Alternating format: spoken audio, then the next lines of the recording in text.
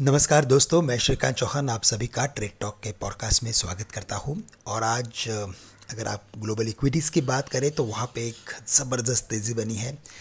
US markets में तो लगभग टू परसेंट से लेकर थ्री परसेंट तक की तेज़ी हमने पिछले दो दिन में देखी है, और एशियन मार्केट्स में वन पॉइंट फाइव परसेंट से टू परसेंट की तेज़ी दिखाई दे रही है। जापान का इंडेक्स हज़ार पॉइंट प्लस है। जापान का जो करेंसी है, वो और थोड़ा सा वीक हुआ है 147 प्लस ट्रेड कर रहा है और इन सब के पीछे सबसे बड़ा अगर कोई रीज़न है तो वो यही है कि यूएस के जो इन्फ्लेशन के नंबर्स आने वाले थे, वो एज़ पर एक्सपेक्टेशंस थे और इसी वजह से जो एक डर बना हुआ था कि शायद यूएस अगर इन्फ्लेशन के नंबर्स और अगर वीक आते हैं तो एग्रेसिवली रेट को कट कर सकता है।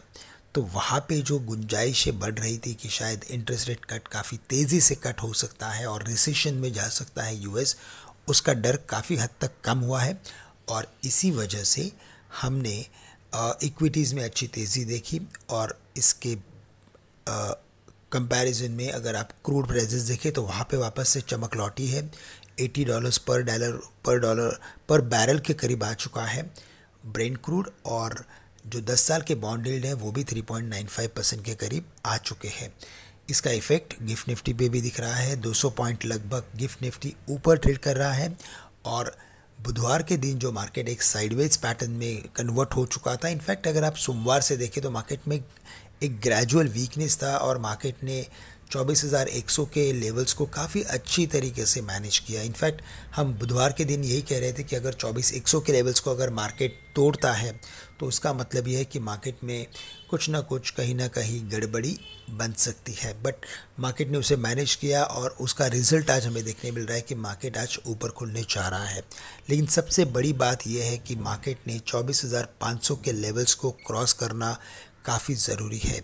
अगर इन लेवल्स को क्रॉस नहीं किया तो हम मार्केट में एक प्रेशर बना हुआ देखेंगे और हमारी स्ट्रैटेजी अभी तक यही होनी चाहिए कि हमें हमारे पोजीशंस को कम करना है लॉन्ग पोजीशंस को कम करना है।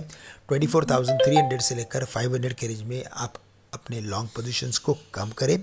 24,500 के ऊपर एक अच्छी तेज़ी बनेगी जो मार्केट को 24,900 तक लेके जा सकती है। तो मार्केट हायर ओपनिंग के साथ खुल रहा है तो आप पोजीशंस को थोड़ा कम करें।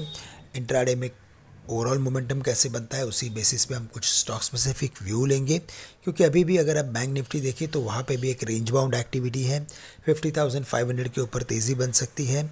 ऑयल एंड गैस स्टॉक्स में बिल्कुल हमें आउट परफॉर्मेंस दिखाई दे रहा है तो वहाँ पे बिल्कुल आप फोकस कीजिए वहाँ पे कुछ तेज़ी के मौके मिल सकते हैं। और इसके अलावा आईटी कंपनीज़ में भी हमें लगता है कि कुछ मोमेंटम बन सकता है। तो ब्रॉडर अगर आप देखें तो अभी भी मार्केट एक रेंज के अंदर ट्रेड कर रहा है और इस रेंज को अपर साइड पे क्रॉस करना काफ़ी ज़रूरी है। तो ये लेवल्स जब क्रॉस करे और उन लेवल्स के ऊपर जब बंद कर ले मार्केट तभी जाके मार्केट में कॉन्फिडेंस लौट सकता है। तो दोस्तों, आज के लिए बस इतना ही। आप सभी से मैं आज के लिए विदा लेता हूँ। धन्यवाद।